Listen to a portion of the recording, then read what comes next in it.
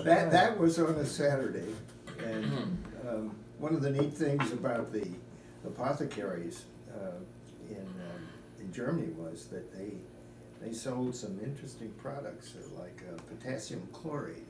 Oh, jeez. If you re- if you Oh, wait, how old were you guys at you this re- time? If you remember, not potassium nitrate, but chlorate, which has more O's in there some way. So you were te- you, what teenagers at this point? What does that Yeah, actually and- do? And, and powdered aluminum.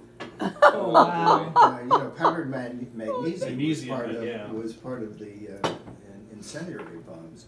Well, anyway, uh, Oh, then we had we had plenty had plenty of uh, of um, old um, um, not the MRA what is it meals ready to eat but but the uh, C rations and the C rations always had little bottles with um, sometimes they were about this size and sometimes they were much smaller uh, with um, purification tablets in it. So Uh, yeah. I took uh, I took one of the larger ones KCLO3. and uh, I opened it up and I dumped all the pills out and I put a mixture of potassium chlorate and powdered aluminum. Oh, in it. God. And then I made a, um, a fuse. I drilled a hole in the in the top and I made a fuse and put it in. And um, Oh, Lordy. and then um, Wait, wait. How old were you guys then? I mean, were you teenagers by then?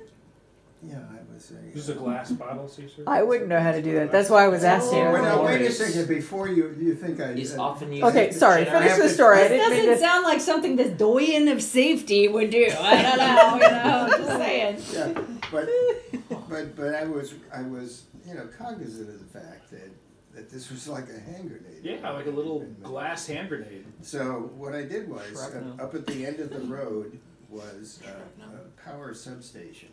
And it had, and it had um, concrete steps. And, and the concrete steps were, you know, were cast in a way that, that um, underneath, there was open field down Mhm. on that side. So I put this, this uh, Under the steps. thing under the steps so the debris would go out into the field. And, I was considering. and I, and I lit it And ran. and I ran back to the house, which was, I don't know, maybe hundred and fifty feet away. And the thing went off Oh God. and, and the concrete power station was like a sounding board for the I mean, it was boom. I'm very satisfied. and then I get back to the house and the telephone rings. oh, no. And I pick up the telephone. So help me, this is exactly what happened. And I say, Colonel Otto's quarters, Steve speaking, sir. And the voice says, Steve, stop it.